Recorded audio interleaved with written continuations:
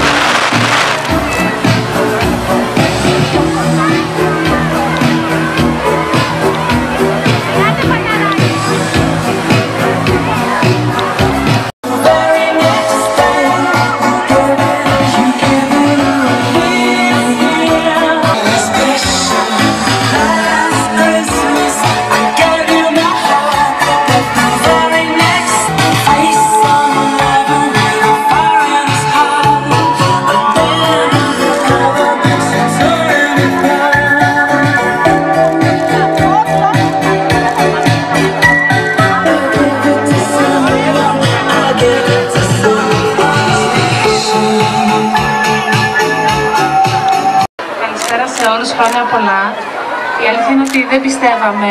Είμαστε τέσσερις από το Make a Wish και αρκετοί εθελοντές εδώ από το Άργος.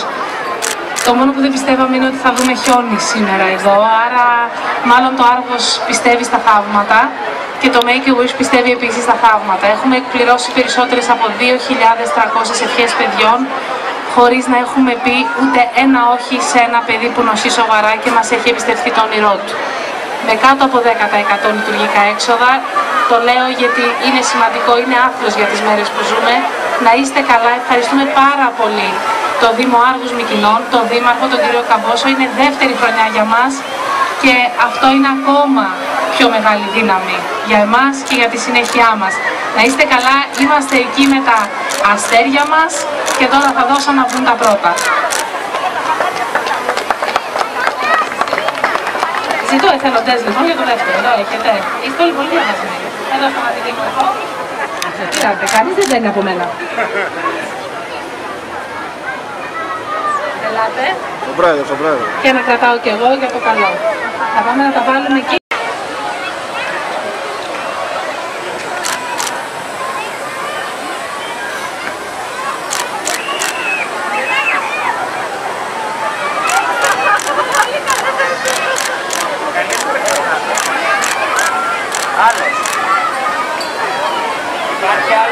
μόνος δεν θέλετε βοήθεια. Να το βάλω από το έτσι εδώ μέσα. Ωραία. Μπράβο. Όχι, δεν είχα να κορίτσια.